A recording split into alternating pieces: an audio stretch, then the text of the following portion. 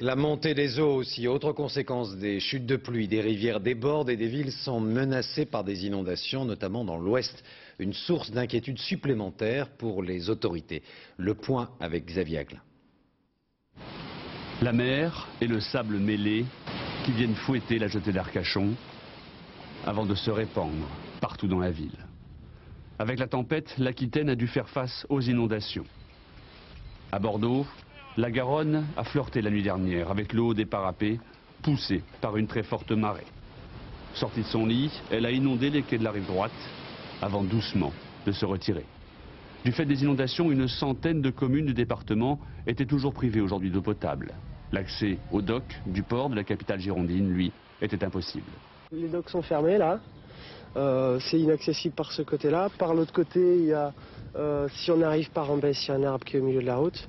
Donc je pense qu'on peut arriver peut-être par le côté en barresse, c'est tout. Autre point sensible ce soir, le département de la Sarthe. Des quartiers entiers du Mans ont les pieds dans l'eau.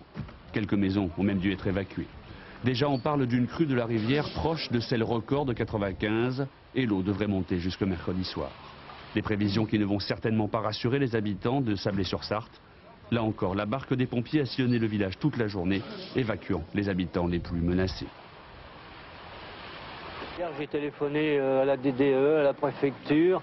On m'a dit il n'y a pas d'inquiétude à avoir, vous inquiétez pas, ça monte, mais il n'y a rien de grave, 10 cm au pire. On a fait 17 millions de travaux dans la baraque.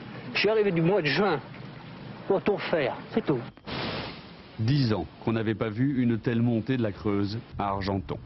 Le barrage des Gusons n'arrive plus à contenir le débit. Il a fallu laisser partir l'eau. Enfin ce soir, la situation est décrite comme critique dans plusieurs communes de la Manche et du Calvados.